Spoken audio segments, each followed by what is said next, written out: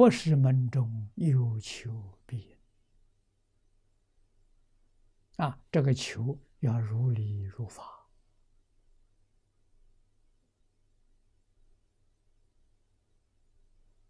啊，求升官发财，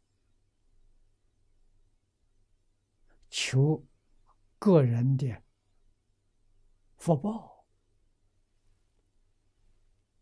这个福不理你的。这个没有感应的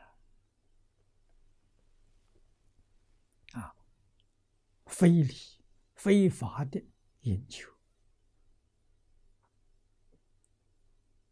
啊，佛菩萨不会顾你的，如理如法的求，一定有感应。什么是如理如法？你要晓得佛的本愿是什么。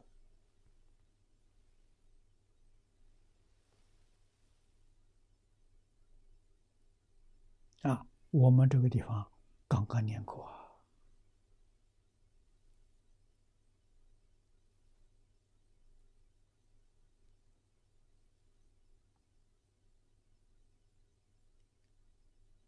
佛的本愿就是度众生，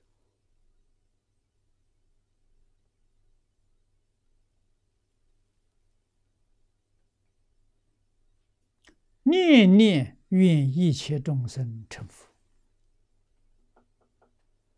你要用这个心去求，没有一样不感应的。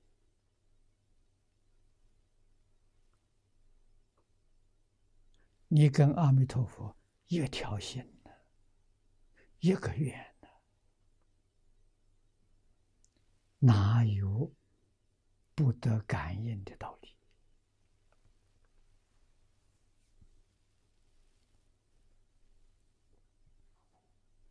啊，所以这是我们不能不知道的。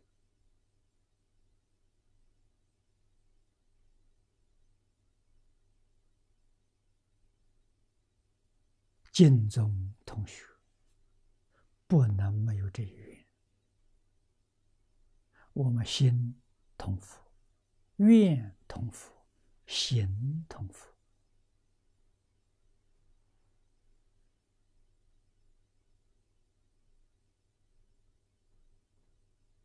感应就现前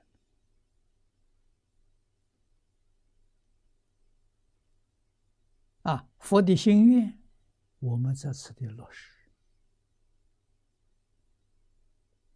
跟他同心同愿，同德同行，跟佛是一体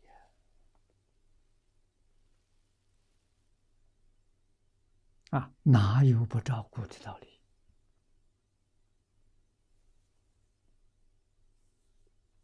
啊，众生的缘成熟了，我们就要干了。缘不成熟，下种子。啊，下种子就是一句佛号，让他听到。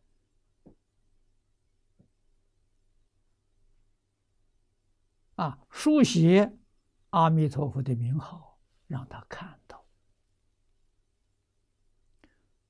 塑造阿弥陀佛的形象，也是让他看到一粒眼根，一粒耳根，永为道种。这是下种子，播种。啊，来生后世，他遇到缘，这个种子起作用。啊，最后他决定往生极乐世界。啊，已经有种子的帮助他成熟。啊，阿赖耶有这个种子，他看到、听到欢喜，但是不用功，这个世缘放不下。啊，贪念这个世间福报，这要教他。啊，要教他多多听经，多多。读诵啊，听多了，读多了，自然明白了，啊，他就慢慢会放下了。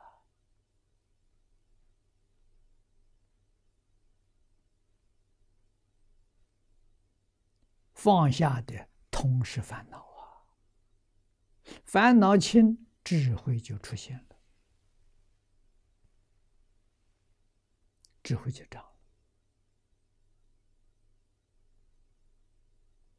根性好一点的人，三个月、半年，就有很显著的感触。啊，自己会感触，哎，我变得比几个月前聪明了，啊，这就是好现象，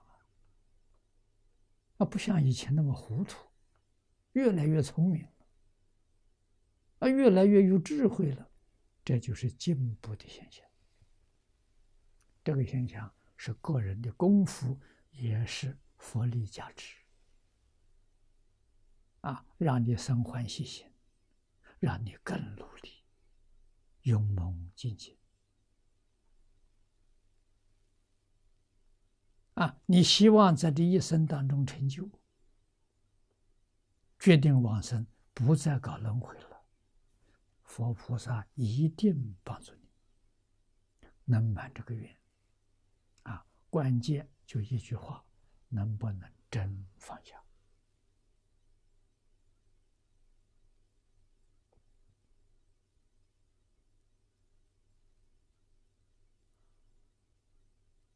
啊，真放下才有这个效果，不是真放下，那就没法子了。